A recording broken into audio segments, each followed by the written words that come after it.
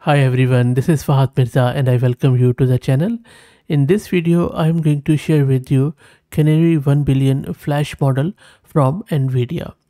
We have been covering NVIDIA's model for quite some time now and the good thing is that this new 1 billion flash model has got quite a permissive license if you are looking for an ASR model to be used commercially. This model, which is Canary Flash, is a powerful multilingual speech processing model that is capable of automatic speech recognition and real-time translation. With 883 million parameters, it efficiently handles speech to text tasks in multiple languages, including most of the European, as well as translation between English, Arabic, and few Chinese and few others. You can also have some support for optional punctuation and capitalization with this model. It leverages a fast conformer architecture for the encoder and transformer decoder. Canary 1 billion flash model also achieves state-of-the-art accuracy while providing exceptional inference speed. I haven't seen any diarization support at the moment, but they might be adding it soon. But if you're looking for diarization in NVIDIA's model or similar models, just go to my channel and search with NVIDIA and you should be able to find heaps of videos around it. Now I will be using NVIDIA's NeMo framework in order to get it installed. And if you want to learn more about NVIDIA NeMo, please search my channel. In a very quick words, NVIDIA's NeMo framework is a scalable and cloud native generative AI framework built for researchers and PyTorch developers working on LLMs, multimodal models or ASR model among other things. You can create, customize and deploy new models by leveraging existing code and pre-trained model checkpoints. That is what we are going to use shortly when we get this thing installed on our local system. Before we do the installation, let me thank Massed Compute who are sponsoring this VM, which is Ubuntu, and this GPU card, NVIDIA RTX A6000 with 48 GB of VRAM. Let's start by creating a virtual environment. And if you're looking to rent a GPU on very affordable prices, you can find the link to Massed Compute in video's description with a discount coupon of 50% for a range of GPUs. Next up, let's install some of the audio libraries. Some of them might be already on your system, but I'm just going to go to install to make sure. And then we need to install Torch, Torch Audio, and then also the NeMo toolkit. This is going to take a couple of minutes.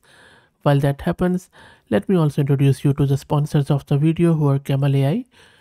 Camel is an open source community focused on building multi-agent infrastructures for finding the scaling laws of agents with applications in data generation, task automation, and world simulation. And then let me launch my Jupyter notebook.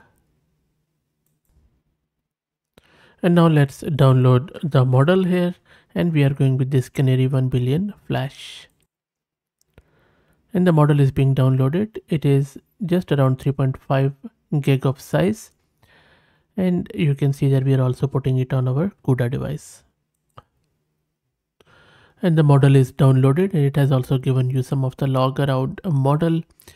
And from there let me now grab an audio file from my local system. So this is just a local file and then I'm converting it to mono channel and uh, 16 kilohertz in the wave format which is a compatible one. You can also use mp3 or FLAC format if you like. So let me uh, process the audio. The audio has been converted. Let's quickly play it. And I'm just going to run this. Let me play that. Then leaving the corpse within the house they go themselves to and fro about the city and beat themselves, with their garments bound up by a girdle. Okay, so the audio looks quite good.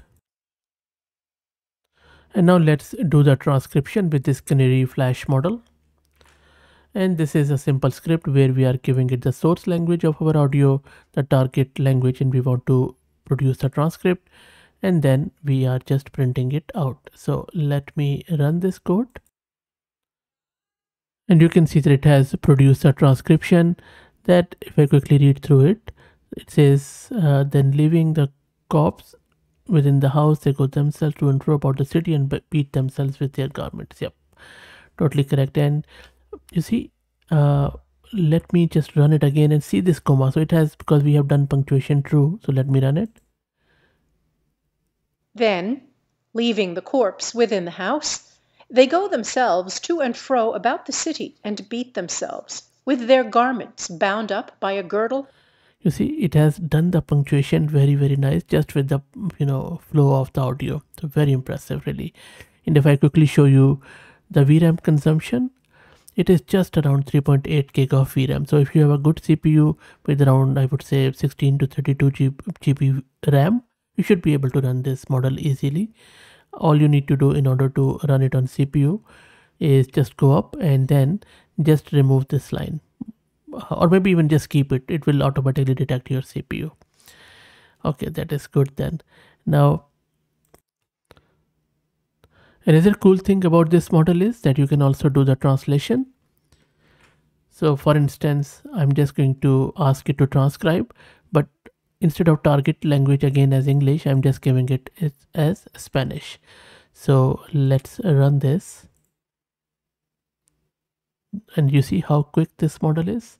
And this is a Spanish. So if I just pick it up and then put it in Google Translate I'll just say detect language. There you go. So it says with a belt which is fine. It's a girdle and belt are same thing really good stuff. Now this is I believe not only does uh, Spanish but few other languages so I'm just going to try it out with maybe I'll say uh, I think it also supports German I believe and the German code is language code is DE so I'll just run it. There you go. Let's check it out. There is one punctuation at the end but maybe that is a German language. If you're a German speaker please confirm yep that is correct. So you see the quality of transcription plus quality of uh, translation is quite good. Let's try out French. There you go. Let me quickly check the French too and if you're a French speaker please also confirm. There you go. So looks really good to me at the moment as far as I can see it only supports these four languages but just for the heck of it I'm just going to check it out with Arabic. The language code is AR I believe. So yes it doesn't support Arabic. It gave me an error. Let me check maybe Chinese which is ZH nope. And let's check maybe Hindi which is HI so it only supports those four languages. But still I could I believe pretty lightweight pretty performant model very impressive. And the best thing is that the license is quite permissive which is cc uh, and i believe this allows you the commercial use. Uh, but check the license detail because there are a lot of ifs and buts in the licensing and i'm not a licensing expert. Um, but thankfully it is not nc by cc which is good would be great if if it would be apache 2 but maybe we're asking for too much. Try it out. Let me know what do you think. If you like the content please consider subscribing to the channel. If you're already subscribed please share it among your network as it helps a lot. Thank you